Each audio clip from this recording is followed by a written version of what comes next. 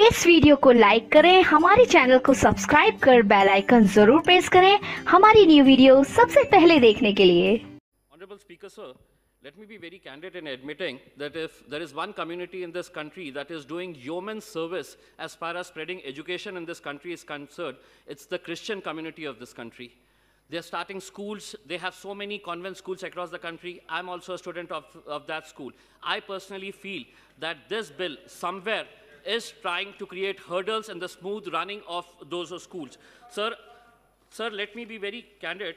We feel that there is a hidden motive behind bringing this bill to target certain individuals, certain organizations, and definitely certain castes and communities. So I request the government to please withdraw this bill.